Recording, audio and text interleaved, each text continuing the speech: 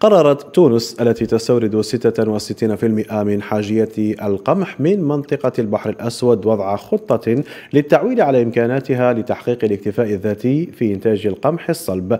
وفي وقت تواصل البلاد استيراد القمح اللين لصناعة الخبز تهدف إلى تحقيق الاكتفاء الذاتي من القمح الصلب. المادة الأساسية في الغذاء على مواد دول المغرب العربي. بهمة ونشاط كبيرين يزاول منذر نشاطه في زراعة القمح في حقله المترامي الأطراف معتمدا على وسائل بدائية بسيطة وكله أمل في المساهمة بتحقيق بلاده الاكتفاء الذاتي من محصول الحبوب. بعد تعطل الإمدادات القادمة من شرق أوروبا. إحنا طالبين من الدولة تشوف الفلاح الصغار هذايا تراعي لهم ظروفهم باش يقتنيوا هال matériel هذايا اللي اللي التكلفه تاعو غالية برشا. ما أنا فلاح صغير ما عادش ينجم يقدر باش يشتري حتى ماكينة ولا تراكتور بصراحة. يقول لك نمشي نكري نعم يكري وعام يخليها بور وهكاكا نوليو حتى ما عادش تتزرع جملة واحدة بصراحة. تولي أرض مهملة. عليه مسعى منذر وغيره من المزارعين يبقى رهينة محدودية الوسائل التقنية وإزالة العراقيل والتدخل الحكومي العاجل لتنظيم الشعبة الاستراتيجية في تونس. لو كانت الدولة تساهم شوية في هالحاجات هذوما الآلات الفلاحية والأسمدة هذوما عوامل هذوما زوز عوامل اللي ينجموا يطوروا لنا الإنتاج وينجموا يشجعوا الفلاح باش يقدم.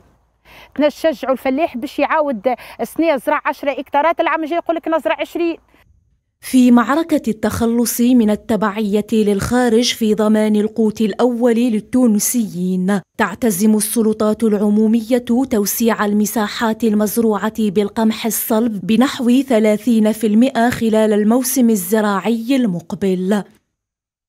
Euh, نستهدف من خلال حملات الحصاد القادمة إلى زيادة مساحة القمح الصلب بنحو 30% من أجل تحقيق الاكتفاء الذاتي من القمح الصلب.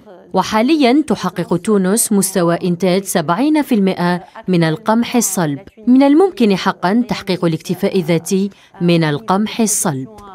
لقد عملنا مع شركائنا التقنيين والماليين والجهات المانحة على برنامج لزيادة سعة التخزين على المستوى الوطني. سنضاعف سعة التخزين ولكن أيضا سنقوم بتعزيز سلسلة الخدمات اللوجستية بأكملها للتجميع والنقل للتقليل من المحصول الضائع.